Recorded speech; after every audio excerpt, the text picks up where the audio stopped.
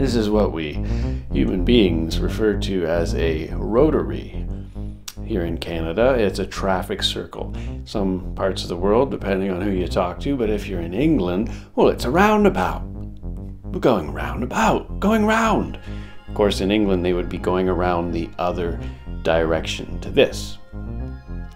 Um, rotaries throw me a little bit. I find the bigger ones uh, to be a little bit lawless in traffic time, and it freaks me out, so I avoid rotaries around these parts whenever I can.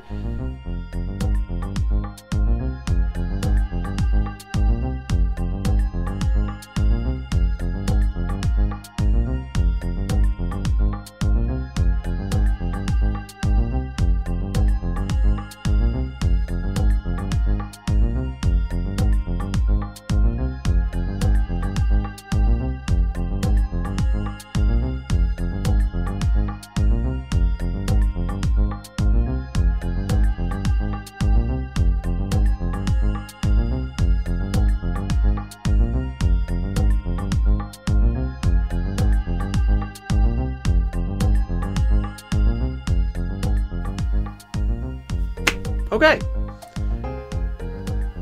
Huh.